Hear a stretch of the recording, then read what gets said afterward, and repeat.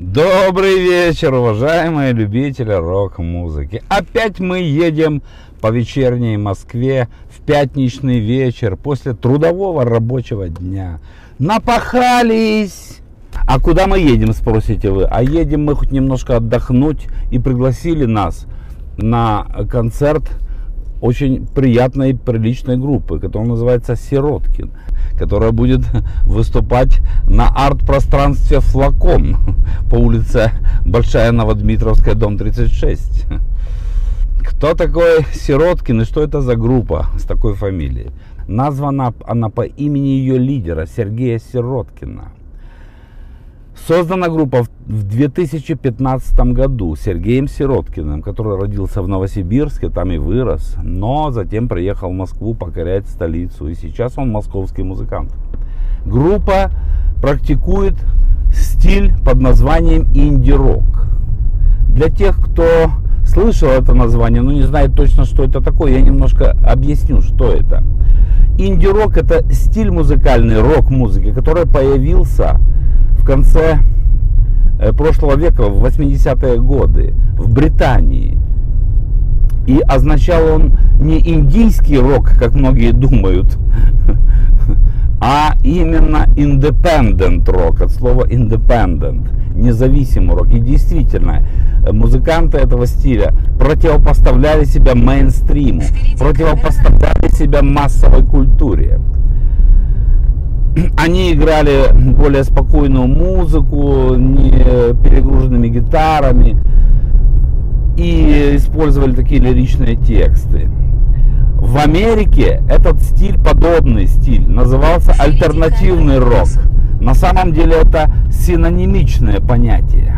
С развитием музыки эти э, понятия перемешались, по сути дела, и музыканты понимают под ними одно и то же. Более того, к, к этой смеси примешался еще и андеграундный рок, который подвальный, который воспевает маргинальные группы. Они тоже противопоставляют себя массовой культуре, мейнстриму. Именно в этом они близки, ментально близки эти, эти стили. По мере развития техники, технологий, особенно компьютерных, развития интернета, социальных сетей и, соответственно, развития доступности и записи музыкальных произведений и их распространения. Инди-рок стал еще более популярным, и он начал приносить коммерческий успех этим группам. Он стал коммерчески успешным. И, соответственно, поменялось немножко его смысловое наполнение. Это уже не просто противопоставление мейнстриму и массовой культуре. Можно сказать, что инди-рок и альтернативный рок это тоже мейнстрим рок-музыки. Потому что слишком много людей любят эту музыку, готовы за нее платить.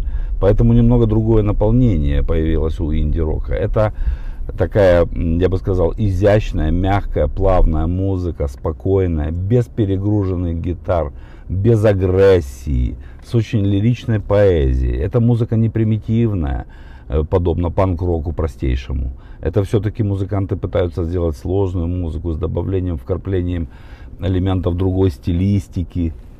И поэтому она интересна. И так, таким образом интересна, конечно же, и группа, для меня группа Сироткин – потому что я люблю такую музыку, не простейшую, не примитивную, а там, где прочитывается и музыкальная мысль, и мысль поэтическая. Вот у Сироткина все это присутствует. Я его не стараюсь перехвалить, потому что я слышал его записи только студийные, и поэтому мы специально приехали на концерт, чтобы послушать, как они звучат вживую. Потому что, вы знаете, гладко было на бумаге, да попались овраги, так и здесь. Можно рассказывать о себе и студийно исполнять красиво все. А как это звучит вживую, надо послушать в реалиях. Поэтому мы едем на этот концерт. Ну, а там посмотрим. Вот так вкратце. И поделимся с вами своими впечатлениями. Концертная группа Сироткин. Ну, почти как Волощук только у Волощука еще СД, а вот просто Сироткин.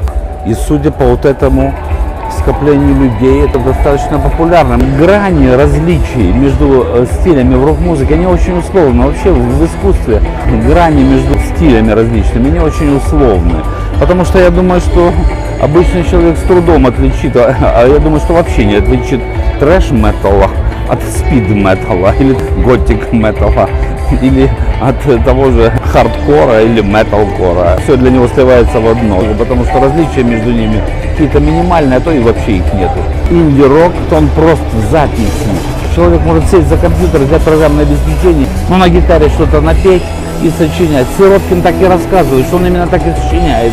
На гитаре что-нибудь напоет, а потом на ноутбуке все это потом забивает туда басы, другие инструменты и получается песня. Ну потом уже, я понимаю, в студии уже делают более-менее качественный звук. Это простота сочинения, записи и простота и возможность выплеснуть свое творчество на публику привело к тому, что этот стиль стал очень популярным. И я повторюсь вам, обратите внимание, это не тяжелый рок, это не heavy metal.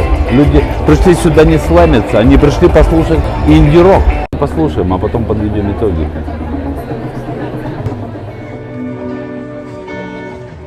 Мы уйдем из комнат, пока все спят И в коридорах нет никого Кто бы узнал и заметил Мы на крыше и нас не пойдут искать Синим морем над головой Смотрим огни в головах навсегда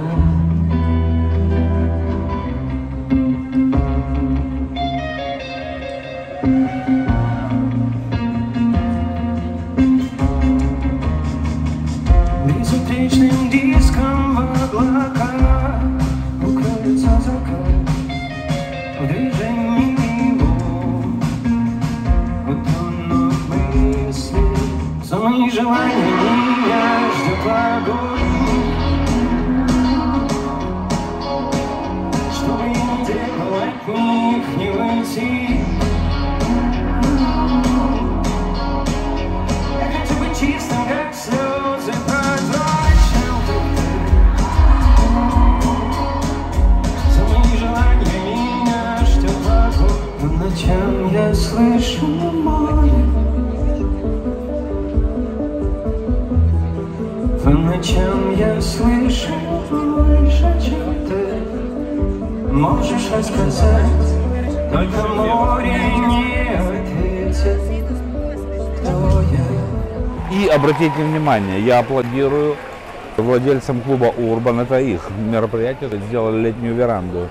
В Урбане нету, там они закуски чипсы. А здесь прекрасно. И есть и брускетки, и винное плато, и бургеры, и прекрасные напитки, такие напоминают колу.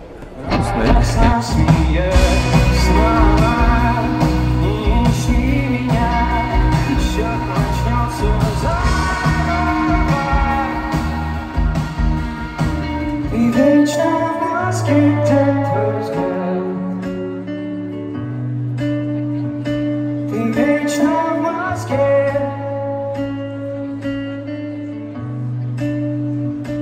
Я стану бояться за тебя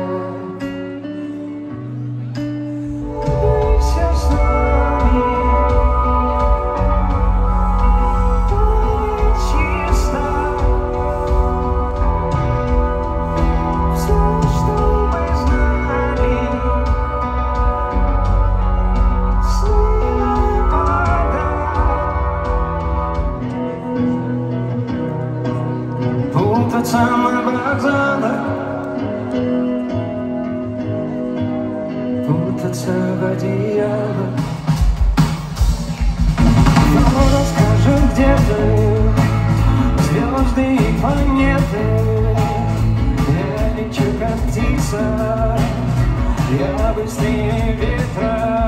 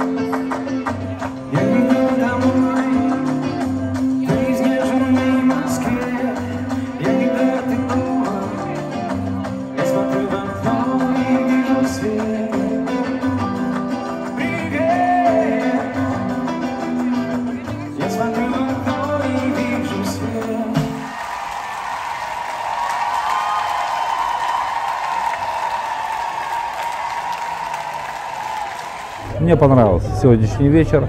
Желаю успехов группе Сироткин. Ну и подводя итог своим небольшим размышлениям, я хочу сказать следующее. Вы знаете, меня удивляет, удивило, что на такую музыку собрались тысячи людей. Потому что в моем понимании, знаете, музыка open air, фестивальная музыка, она должна передавать в первую очередь импульс телу, чтобы ему хотелось двигаться. Здесь же люди стояли, они не танцевали. Им, у них не возникало желания. Этого импульса не было со сцены, который заставляет людей двигаться в такт музыки. Поэтому эта музыка передавала импульс только мозгу. Я же хочу в своей музыке, в своем новом хард-роке соединить импульс и телу, и мозгу. Потому что вы знаете, что нет на самом деле разделения на, на бытие и сознание. Нету разницы между мозгом и телом. Есть мыслящее тело живого человека. Поэтому мы будем совмещать и ритмичную заводную музыку, и глубокие тексты. Вот это и есть наша концепция хард-рока. Мы будем брать лучшее вот этих вот стилей, арт-рок, в первую очередь арт-рок, прогрессив-рок, инди-рок, и в то же самое время мы будем брать лучшее из, от, из передовых вот этих стилей хэви-металла. Их технику высокую, их скорость, их мощь. Вот это попытаемся соединить. Это и есть концепция нового хард-рока, рок-группы Волощука СД. Всем до свидания, мы поехали на дачу. Доброе утро, уважаемые любители рок-музыки. Хочу вернуться к вчерашнему мероприятию и вкратце рассказать о своих мыслях и впечатлениях, навеянных этим концертом. Но начну с объяснения того, почему я давно хотел сходить на концерт Сироткина. И чтобы лучше понять мое желание, надо послушать песню «Бейся сердце, время биться». По моему мнению, эта песня мало того, что сделана безупречно с музыкальной точки зрения, и по качеству звука, и по аранжировке, и по гармонии, но в ней еще заложено громадное внутреннее напряжение молодого человека, охваченного и подавленного чувством опасности и несправедливости этого мира – человека, поставленного самой жизнью перед неминуемым решением экзистенциальных проблем. Или-или, быть или не быть. Слушая эту песню и смотря этот клип, становится по-настоящему страшно за главного героя. И это внутреннее напряжение, дополненное пониманием невозможности помочь этому молодому человеку, передается тебе, несмотря на негромкий, неагрессивный характер песни.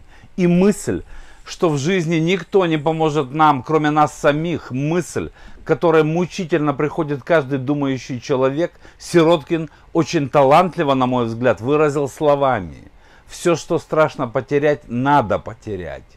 На мой взгляд, это выдающаяся песня, очень хорошо характеризующая и уровень таланта Сергея Сироткина, и сам стиль инди-рок – который предполагает это внутреннее напряжение, замаскированное негромким, не агрессивным характером музыки. И на концерте вроде бы было все неплохо. Все вроде бы соответствовало характеристике инди-рока. Спокойный, негромкий, неторопливый и неагрессивный характер музыки. С такими же неагрессивными, меланхоличными текстами но уж чересчур спокойно, плавно и статично выглядело и звучало все это действо на сцене. Не было напряжения в этой статике, присущей, как я уже сказал, этому стилю. Напряжение, которое хорошо умеют передавать лидеры, законодатели этого направления в музыке, начиная с Radiohead, Blur, Garbage, Coldplay и других, умеющих за внешне спокойным характером музыки и неагрессивным поведением на сцене, создать ощущение сдерживания бушующих страстей, ощущение пограничного состояния в душе маленького, неприметного, тихого, интеллигентного человечка, внутренне протестующего против несправедливости этого мира.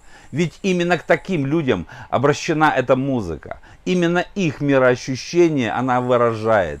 И именно этим ценен стиль инди-рок.